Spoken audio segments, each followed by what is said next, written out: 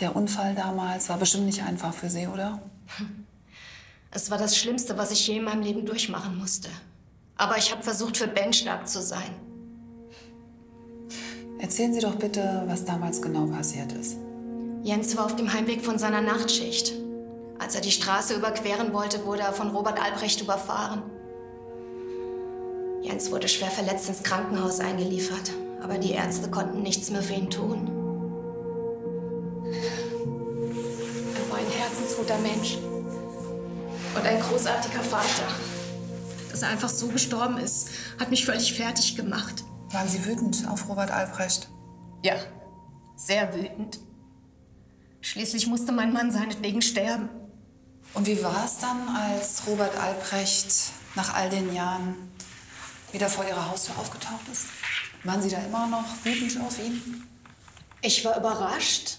Ich wusste nicht, dass er aus dem Gefängnis entlassen wurde. Aber das mit der Wut habe ich schon vor Jahren abgelegt.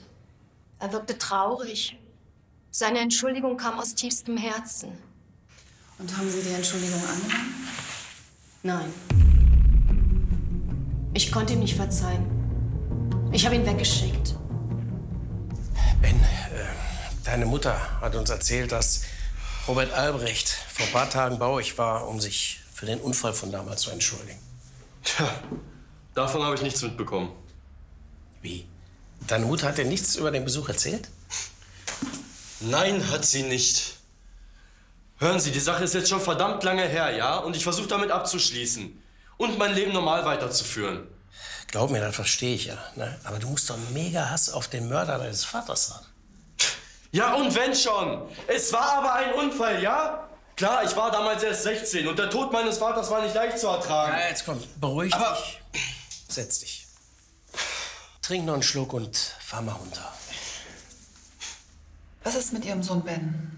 Wusste er davon, dass Robert Albrecht vor kurzem bei Ihnen vor der Haustür stand? Nein, ich wollte Ben nicht unnötig damit belasten. Mir ist es schon schwer genug gefallen, auf ihn zu treffen. Lara, kannst du einmal kurz kommen, bitte? Entschuldigen Sie bitte.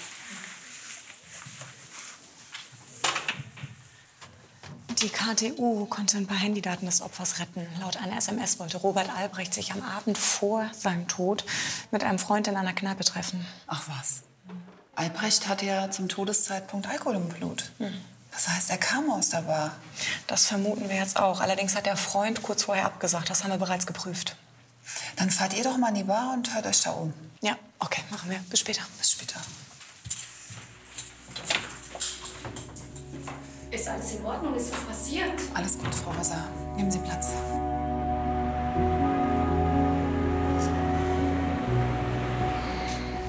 Zu früh für die Kneipe. Ist kurz nach sechs, da ist noch nichts los. Hallo, was darf ich bringen? Zwei Pilz? Äh, nee, danke. Ähm, wir sind dienstlich hier. Kriminalpolizei. König, das ist die Kollegin Sommer. Okay. Sie könnten uns eventuell weiterhelfen. Ähm, Ich versuch's, ja. kennen Sie den? Ja, das ist Robert. Aha. Was ist denn passiert? Er ist heute Morgen gegen 6.30 Uhr hier in der Nähe von einer Brücke gestürzt und verstorben. Ach du Scheiße. War Robert Albrecht oft hier? Ja, zwei, dreimal die Woche. Aber erst knapp seit vier Wochen, dass er plötzlich aufgetaucht. Der Arme war fix und fertig. Hat er ihm gesagt, wieso? Ja, wegen eines Autounfalls. Und er hat sich schwere Vorwürfe gemacht. Hat seinen Frust hier ertränkt, aber ich glaube auch, der hat ein bisschen Gesellschaft gesucht. Okay. Und gestern Abend? Wie war denn das? War da irgendwas Besonderes irgendwie? Also, uns hilft wirklich jede Kleinigkeit weiter. Robert hat im Darts gewonnen. Ähm, ich meine sogar, ich habe ein Foto gemacht. Warten Sie mal. Nach seinem Sieg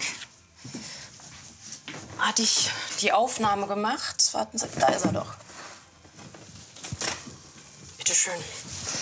Aber Hm. Na, also. kurz darauf kam es auch äh, zur Schlägerei. Schlägerei? Äh, wie spät war das ungefähr? Das war so gegen kurz vor fünf. Wir haben immer lange auf. Udo, sein Gegner beim äh, Darts, war nicht so begeistert zu verlieren. Irgendwie hat die Situation sich dann hochgeschaukelt. Und, ja, Robert ist dann hier aus dem Laden geflohen und Udo ihm hinterher. Udo, okay. Ähm, Gibt es von dem Udo eine Telefonnummer, Adresse? Haben Sie irgendwas? Nee, hab ich nicht, aber er sitzt da. Aber er hat schon einige getrunken. Ich würde. Sicher? Das ist Udo? Ja, Schönen guten Abend. Kriminalpolizei. Oh Mann, endlich jetzt. Paar Fragen. Ich will nach Haus. Sagen Sie mal, was soll das denn? Entschuldigung, wir haben... Hey, hey, Hey, was ist denn Flasche runter! Lasst euch alle zwei. Alle zwei. Lass den Scheiß, Mann. Tu, was man dir sagt. So. Verpisst euch Ja, ja, Hände aufdrücken. So, die Mütze kriegst du auch wieder auf. Ja, ja, ja. Hast du Handschellen? Ja. Dorftrottel, ey. Nimmst du die Jacke? So, Captain Ahab, jetzt feiern. Ja, ja, ja. Nehmen Sie erstmal die alberne Kappe da ab. Und hier, einen Schluck Kaffee, damit Sie fit werden. Dankeschön. Übrigens, was da ablief zwischen Ihnen und meinen Kollegen, das hat noch ein Nachspiel. Und jetzt will ich wissen, was zwischen Ihnen lief. Zwischen Ihnen und Robert Albrecht. Gar nichts. Eine kleine Schlägerei, mehr nicht. Die Barkeeperin, Frau Seidel, hat aber gesehen, wie Sie dem Herrn Albrecht gefolgt sind. Nach der Schlägerei aus der Kneipe raus. Das heißt, Sie sind die letzte Person, die ihn lebend gesehen hat. Ich bin dem nicht gefolgt. Ich bin nach Hause, um meinen Rausch auszuschlafen. Und um mich ein bisschen runterzufahren. So. Jedes Mal, wenn ich einen Tee hab, verliere ich halt die Fassung. Das ist nun mal so. Das hat mein Kollege gemerkt. Nee.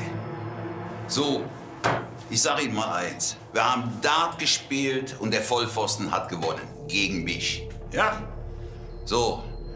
Dann hat er sich sowas von übertrieben feiern lassen, können Sie sich gar nicht vorstellen. Der hat posiert wie Arnold. Ne? So, da hab ich dem eine geklatscht. Der ist dann abgehauen vor lauter Grell und ich bin nach Haus. Ich hab den Typen nicht getötet. Ja, ist so.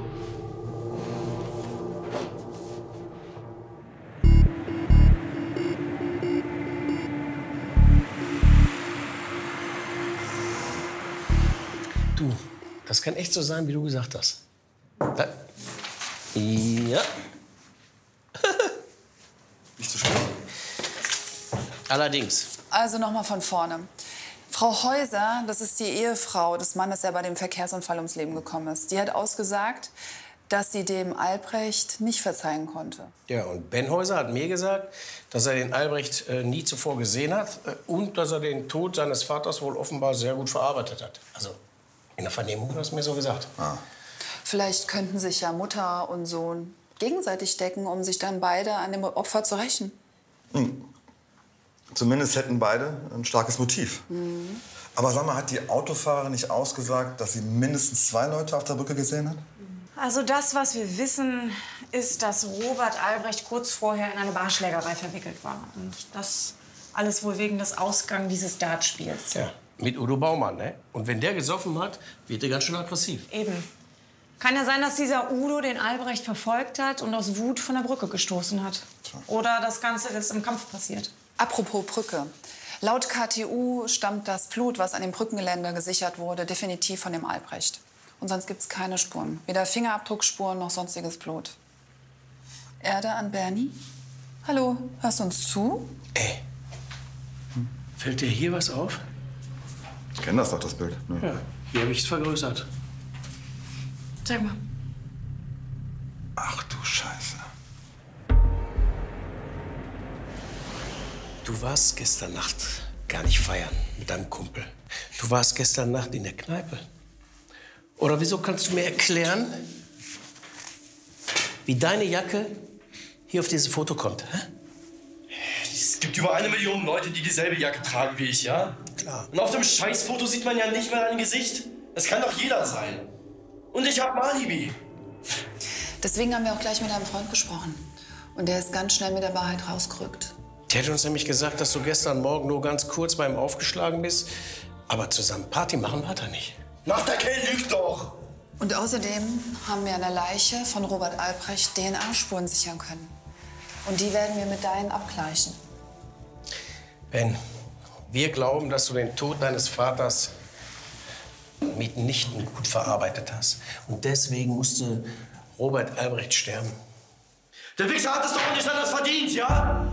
Kommt zu uns nach Hause, spielt das Unschuldslamm, kurz bevor er in die nächstbeste Kneipe fährt und sich dort wieder die Kante gibt.